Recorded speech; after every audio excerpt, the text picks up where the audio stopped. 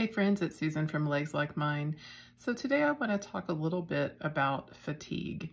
Fatigue is definitely one of the symptoms that goes hand in hand with lipedema, but we rarely hear anybody talking about how we would combat fatigue.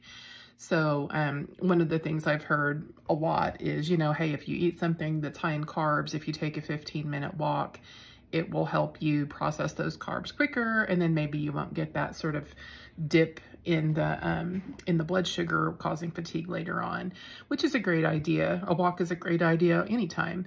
But I actually did some research to see if there were any studies already completed that talk about like what causes fatigue in women with lipedema. And it turns out there's a research study, and I will reference it in the show notes below, that um, shows that women who have fatigue actually have been found to have low doses of omega-3 fatty acids. And there's a big long word for it.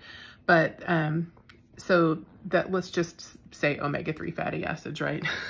anyway, I'm actually going to look over here on my computer and I'm going to read to you a few things that um, are recommended to get more omega-3s in your diet.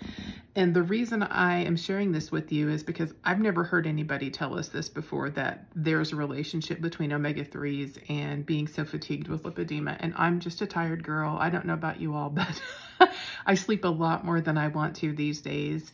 And I don't know if it's because I'm nearing 50 or if it's because of the lipedema. But hey, if all I have to do is add a little bit of food to my diet instead of take myself take food out of my diet, I'm all in. So here's a list of some things you can add.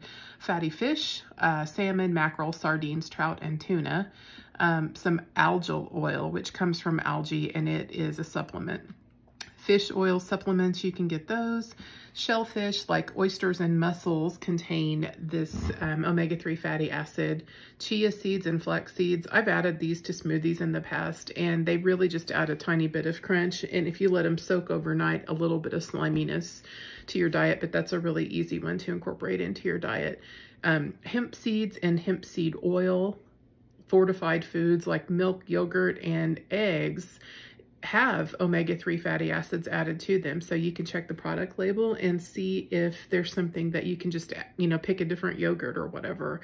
Leafy green vegetables like spinach, kale, Brussels sprouts, um, they support the omega-3 metabolizing in your system. And then, so if you add that to your diet, it can help you like retain that omega-3 in your system. Walnuts um, can contribute to your omega-3 intake. So, hey, I like walnuts. That's my, bingo, you just heard me go, bingo, that's it.